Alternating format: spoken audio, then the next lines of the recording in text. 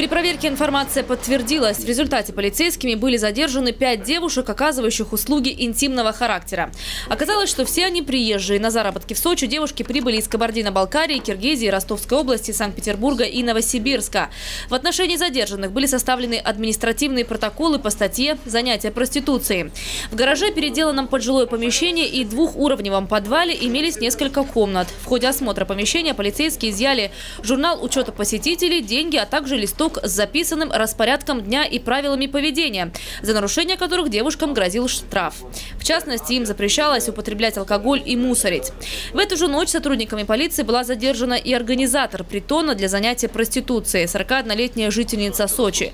В отношении нее возбуждено уголовное дело по статье «Организация занятия проституцией».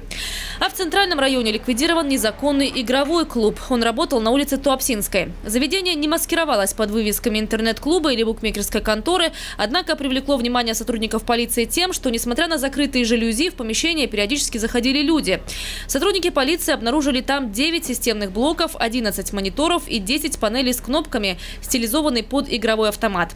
В зале в момент проверки находилась и владелица подпольного заведения – 39-летняя жительница Сочи. По фактам незаконной деятельности составлены административные протоколы. После проверок все оборудование было изъято, а компьютеры направлены на экспертизу, по окончании которой материалы будут переданы в суд. В целом, с начала этого года было выявлено 90 фактов незаконной и горной деятельности. Составлено 136 административных протоколов, изъято 850 единиц техники.